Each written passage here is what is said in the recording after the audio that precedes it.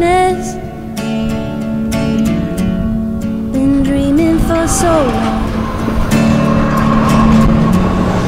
Searching for a witness.